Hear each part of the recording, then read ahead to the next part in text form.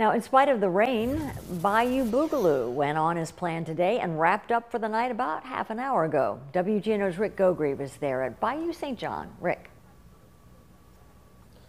Susie, the festival has an emergency storm plan that they, they say thankfully they didn't have to use today. Now, tomorrow and Sunday, they're hoping that they have the same luck. I keep telling myself that I'm alright.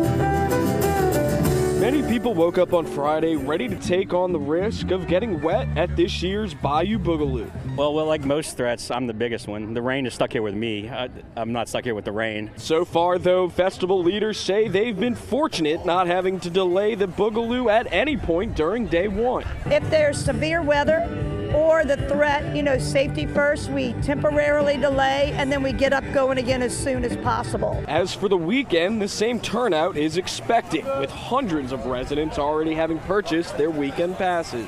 I mean, the rain's not going to keep anybody away. Let's, let's be honest. Like, as we were just thinking, like, as soon as it clears up, we need to get out of the house. Let's get some fresh air. Let's go listen to some music.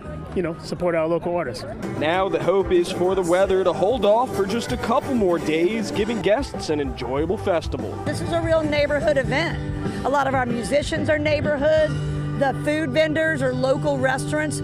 So everybody wants it to succeed. Now, if you want to come out and enjoy the festival this weekend, it will open up at 11:30 on both Saturday and Sunday. Susie. Okay, it might be a little muddy, but come on out. Thanks, Rick.